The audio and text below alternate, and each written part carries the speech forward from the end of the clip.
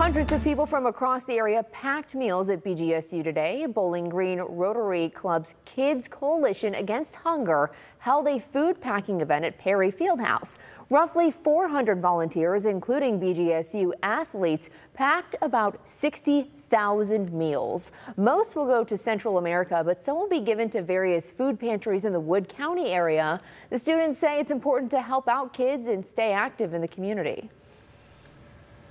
Really just here to address food insecurity and fill a gap in our community and also the need around the world. For one, it's good just to get out in the community, help uh, help the community, just get out there and spend time with others, some other athletes here, and just spend time with our own team. It's really fun. It's a team bonding thing. We also get to help people.